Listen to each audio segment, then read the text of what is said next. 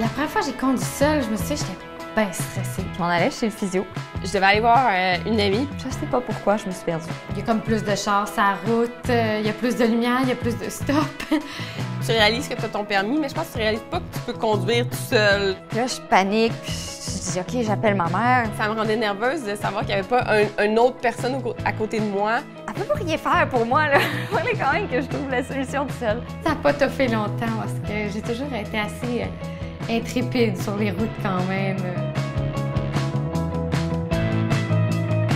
À mon avis, c'est d'abord qu'il soit sécuritaire. J'aime ça quand euh, c'est fiable.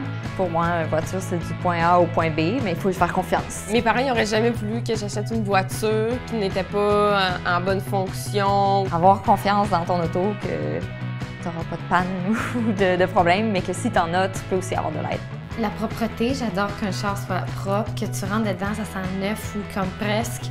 L'autre gros euh, facteur important pour une voiture, c'est d'avoir de l'espace.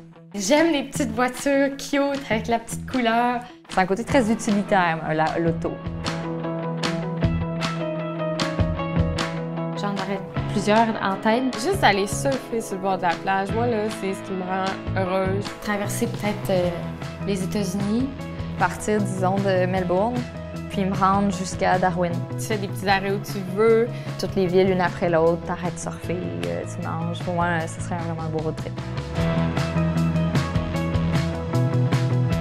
Ça a été avec ma voiture la première fois que j'ai eu besoin de m'assurer.